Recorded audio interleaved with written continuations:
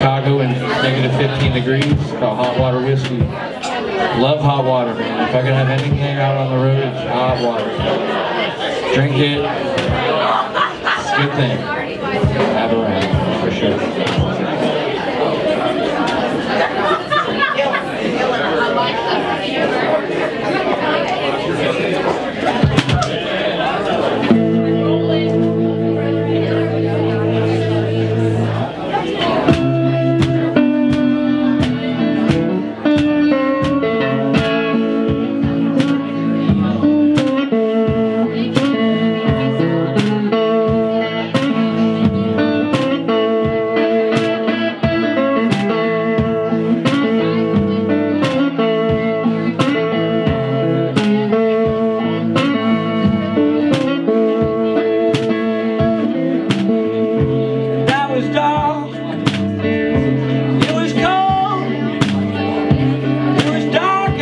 cold.